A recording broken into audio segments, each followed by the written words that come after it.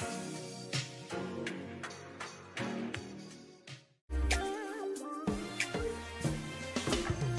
know, I promised you guys I was gonna be doing an updated hair companies video, so here it is. A couple disclaimers. I feel like I always have to get a few disclaimers out the way because sometimes, you know, people just like to just say things and I just want to make sure if you're to say something to me that you come correct. So first things first, not all the hair that I am going to be talking to you guys about or telling you guys about was sent to me. I do buy hair with my own money. I am a hair channel, so it's probably only right for you guys to assume hair is sent to me nonstop all day every day but no that's not the case. I still love hair so i do go out and actually spend my own money on a lot of the hair. So it's kind of like 50 50 yes hair gets sent to me but i buy hair just as much. So i just want to make sure to get that out of the way. So if you're going to want to know i'm probably going to get some comments and be like well what hair was sponsored and what hair was not sponsored? What i'm going to do is i'm going to leave the links for all of the hair companies that I'm referencing, my like individual video reviews in my description box. So if you guys would like to know the information, I would encourage you to go click on that video. It is an in-depth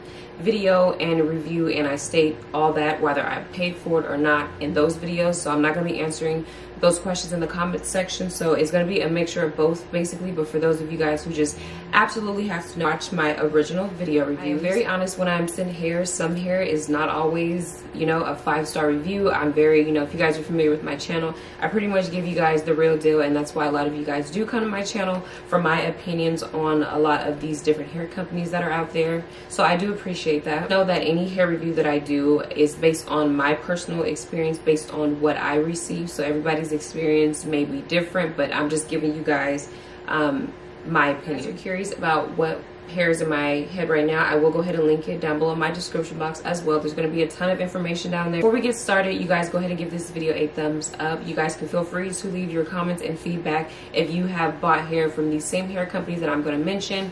The comment section is open. I do not delete comments, whether you had a good or a bad experience. Whatever you have to say, it will stay down there for other viewers to see and for me to see myself too. So feel free to leave a comment and comment on any of these hair companies if you guys like to. As my favorites towards the end of the video, I will go ahead and share with you guys some of my little tips to help my units last longer. I do not buy, I buy hair frequently, but I don't have to buy hair like every two months, every three months, because my units literally last for almost six months to a year, mainly on the latter end of the spectrum. Like I can make or get my wigs to last anywhere between that like seven or eight month all the way to a year sometimes even plus. And the main reason for that is because I do wear my installs glueless so it's not like wear and tear I'm heavy on the lace and I just take care of them. So if you guys are interested in the tips uh, stay tuned towards the end of the video. So I'll just share with you guys just little things that I do to make my units last longer and how I basically upkeep. Okay I do have my notes here because I want to make sure I stay on topic and say everything that it is that I want to say so the first hair company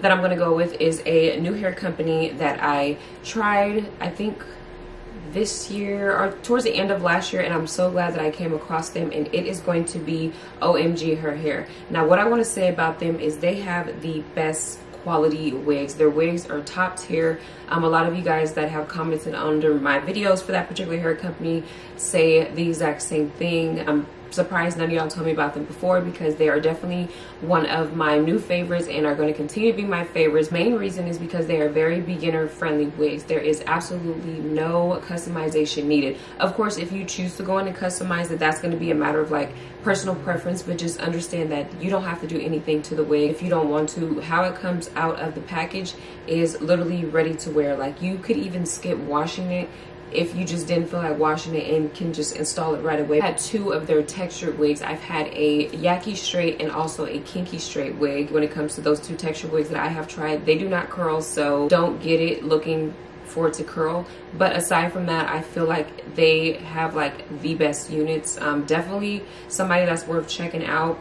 It depends on what you get from them. Some of them are like mildly affordable. The other ones you're gonna pay a little bit more towards the $300, $400, maybe up range. I don't know what all they have on there. I just know that that's what i got when i went on there looking. But you have to understand that you're paying for the customization that is already done to it which is the majority of the work that you would normally put in if it didn't come customized. So they do that for you already so you kind of have to factor that into the price range. If you ask me i say the price is justifiable. It is well worth it. You will not have any issues with this hair company i guarantee you guys if you guys decide to give them a try. Textures are very natural looking. Um, they look really good when they are pressed out but of course you could wear them in their natural state. Just very versatile looking. You do not need baby hairs to install with um, either um, any of their wigs really because they do such a really good job at plucking the hairline. But that would have to be my number one hair company um, that is making the list. Okay, now the next hair company that still makes the cut for this video is going to be Wiggins Hair. I feel like they have the best HD lace wigs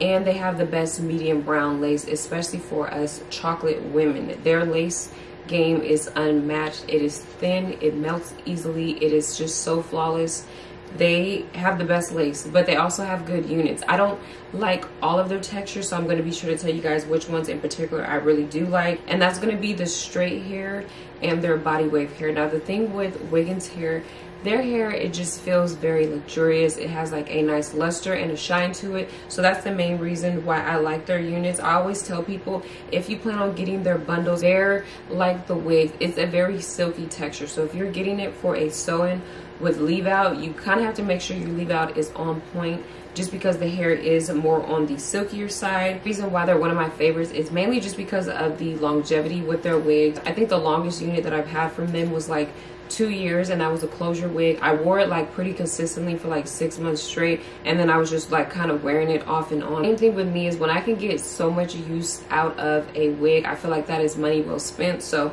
wiggins hair is definitely a hair company that i would say um, satisfies that requirement. I always get minimal shedding with their units as well.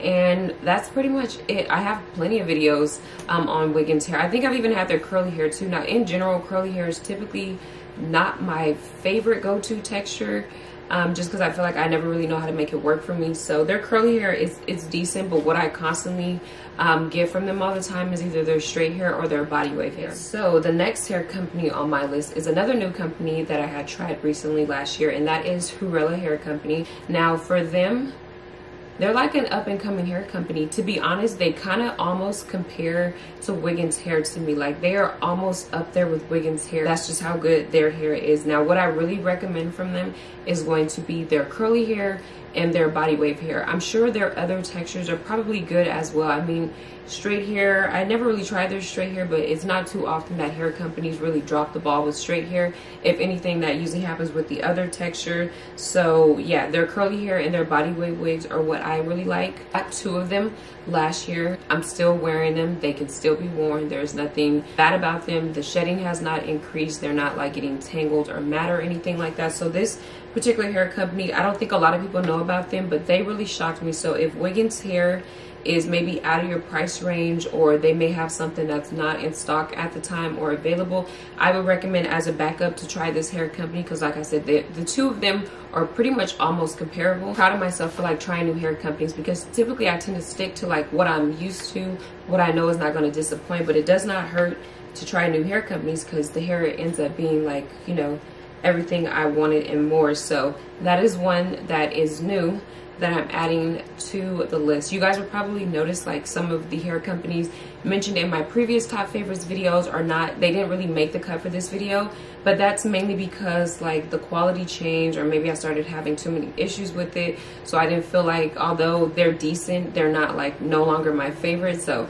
that's only if you guys have seen my other previous videos, you guys will notice some of those hair companies from that video did not make the cut for this video. And up next on my list is going to be Julia Hair. Now, when it comes to Julia Hair, I'm just gonna keep this short and sweet and simple. My absolutely favorite, my absolute favorite type of wig to get from them is their body wave hair. I do not really care too much for any other texture that they have, but their body wave hair will always have my heart. I have bought their body wave wig probably twice now so yeah, you guys can check out those videos so you guys can see just how amazing and flawless that hair is. The only thing that I will say about the most recent body wave wig that I got from them, I believe it was a closure wig. The only thing I had to do differently this time that I don't remember having to do last time was go in and dust the ends a little bit. Not give it like a cut, but just kind of trim the ends because they were looking just a little questionable, but it was no big deal. I literally took out probably like half an inch if that but they're still really good quality wigs. Their body wave wigs hold a curl they straighten really easily and they just wear so flawlessly. They're so voluminous look amazing when they're curled and they will hold a curl literally all day and then some until you decide to like straighten the hair. So rather be a body wave closure wig or a body wave frontal wig that you were looking for i would recommend that you guys go ahead and get it from julia hair. Come back and tell me how much you guys love it because i like i said have two of their body wave units and neither one of them have disappointed and lastly i'm going to go ahead and give you guys some honorable mentions now honorable mentions means these companies are not like my top favorites but they're worth mentioning just because there's like maybe one or two things that I do like about these hair companies. Start with Ali Pro Hair and basically they're one of the companies where they're kind of become inconsistent, at least to me in my opinion. So I had to kind of knock them down a notch. However, I will always love their deep wave hair. That's one thing that's never going to change. They still have the best deep wave hair on the market. And then of course their straight hair is bomb too. Those two textures in particular are worth mentioning for this video. I mentioned it in my last video too, so that has not changed at all. Another honorable mention I would do is probably like I want to say Asteria hair, but my issue with Asteria hair is they're like one of the prime examples of the inconsistent quality. Like the wigs that I was getting from them, you know, even the wigs that they were sending to me, they just were not it. It either was an issue with the cap size or the quality of the hair, or they just had like really super full hairlines, which made it hard to pluck. They had really big knots on the lace, which made it hard to bleach. And I just kind of got tired of dealing with that. Next mention is going to be ISEE Hair. And the main texture that I really love from them is going to be their Mongolian Kinky Curly Hair. I buy that wig at least once a year. So I bought it twice.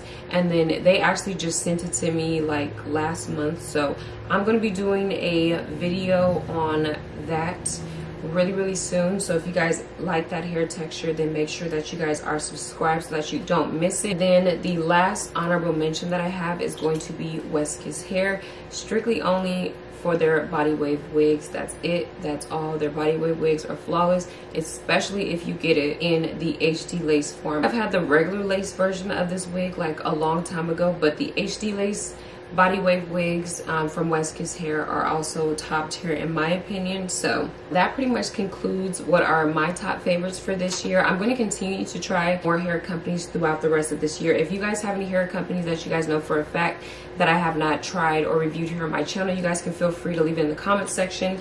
That way I could do my research and then check it out and hopefully I could, you know, showcase, you know, whatever hair company you guys recommend here on my channel. Now, the little simple tips that I do to help take care of my wigs that I want to share with you guys are very simple, but I promise you guys to do these with your wig, it makes a world of a difference with the longevity and you taking care of it and how the wig wears. So I'm not really a product person, so at most I will put maybe mousse on the hair. That's really about it. As far as like for my edges, I will either use the Bold Hold Liquid Gold, which is kind of similar to like the Black Got To Be Glue Gel, or I will use Eco Styler, or I would even use my Style Factor Edge Booster. Those are all products I feel when it comes to doing the edges that are going to be like the least harsh to use on the hairline of a wig. Next really important things uh, or tips that I have for you guys with your wigs is to always use a moisturizing shampoo. A lot of these wigs, um, they have very nice lusters and shine to them and you kind of want to keep up with that and not like strip the hair so that it does not end up looking dry and dull. The key to doing that and maintaining that look of the hair is to use a moisturizing shampoo. It doesn't have to be the most expensive one on the market. It can be a cheap one you know whatever is in your price range as long as it's a moisturizing shampoo. I like to use Aussie, I will use Aphogee sometimes and I will even go as far as using um, darn what is another good one it's like on the tip of my tongue right now but i will leave it in the description box for you guys because i feel like that is something that is really helpful along with that the next tip that i have that i make sure to say this in pretty much all of my videos is that i do like to let my wigs air dry. I do not blow dry them anymore or anything like that. I feel like you get a better you know press or a better curl if you plan on curling the hair. Once you let it air dry just opposed as you kind of drying the hair out with the blow dryer because then a lot of times people go in with like hair serums to kind of bring back that shine but that can pretty much be avoided if you just kind of let it air dry. And I just pretty much sat on my mannequin head and I will put my fan on it and then let it do its thing like that tip which you guys this is probably to be so obvious my next tip to wear it glueless you guys you can get a pretty decent lace melt when you go glueless. I know everyone wants that like scalp like look and wants their hairline to be snatched. However, sometimes that's not always good for the wigs because then you'll find yourself having to buy wigs more often. There are plenty of glueless products out there that you guys can use. I mentioned some in the beginning of the video and those are pretty much the ones that I stick to. This is another great option. This is the ORS um, olive oil fix it super hold spray the even lace sprays are great. You could even probably tack your wig down with this fantasia super spritz which is really cheap. You can get this this was two dollars at the beauty supply store. My good and faithful bold hold liquid golds. And that's pretty much it. Those are really the main products that I use for my glueless installs. These products come off with water so you can reinstall your wig over and over again. It's very easy cleanup. A lot of times when I take my wigs off, it just takes me spraying a little bit of water on the hairline and then just kind of rubbing my finger under the lace and then the product kind of just comes off. Or I just go ahead and wash it, but it, it's not as harsh as having to use like lace uh, glue remover and to like scrub the wig and do all the other little hacks that there are for removing glue from the lace. Glueless just takes the hassle out of all of that, especially because I don't sleep in my wig. It's easy for me to, like when I take this wig off, for instance, I'm gonna take my spray bottle wet the hairline, like gently rub it in and it's gonna lift right off. It's gonna take me all of like 10 seconds to take this off. Um, another tip that I have for my middle part wears, for those of you guys who strictly only like to wear middle parts, you don't have to get a frontal wig. I would suggest getting a closure wig, especially because you're only going to be wearing it in a middle part. And if you, I mean, if you care about your hair being tucked behind your ear, then yes, I would say get a frontal. But if that really doesn't matter to you, so you can save a little bit of money and you can get way more you know use out of a closure wig i would recommend that you guys go that route. Last tip that i have for making your lace wigs last a little bit longer is to not over bleach your knots. Um, i know everyone wants their wig to look like scalp and all of this good stuff but you do not want to over bleach when you over bleach the knots it just you know essentially it weakens them and then that's gonna you're gonna get a lot of shedding if you like continue to like bleach your knots to the max. Around my complexion, we don't really need the knots to be that blonde color. You can lift it to where it gets that shade just right before it turns blonde and it's still gonna look good. I find that that super bleach blonde look looks better on the lighter skin tones. It, it just melts better in their skin and they need the knots to be a little bit lighter. But I found that with our type of skin tone or if you're anything close to my skin tone, you do not really have to go for that super, super, super blonde look when you are bleaching your knots. If you do not know how to bleach your knots, I do have a video that I just did recently on that, how to bleach and pluck. So make sure that you guys check that video out if that is something that you're wanting to learn how to do yourself. So that concludes this video. If you guys enjoyed this video, don't forget to give this video a thumbs up. Comment section is open. I'm here to respond to any questions that you guys may have. As always, thank you guys so much for watching and I'll see you guys next time.